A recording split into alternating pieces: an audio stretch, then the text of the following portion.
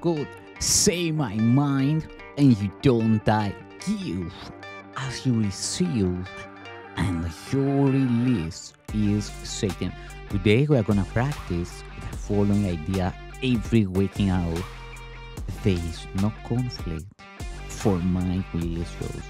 This is the number 65 and this is God's forgiveness. We practice again this idea every waking hour today. There is no conflict, for my will is yours.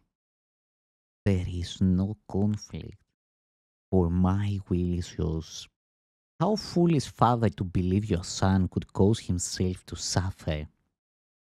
Would he make a plan for his damnation and be left without a certain way to his release? You love me, Father. You could never leave me desolate to die within a world of pain and cruelty. How could I think that love has left itself? There is no will except the will of love. Here is a dream and has no will that can conflict with yours. Conflict is sleep, and peace is awakening. Death is illusion, life, eternal truth.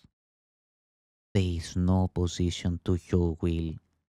There is no conflict, for my will is yours. Forgiveness shows us that God's will is one, and that we say that.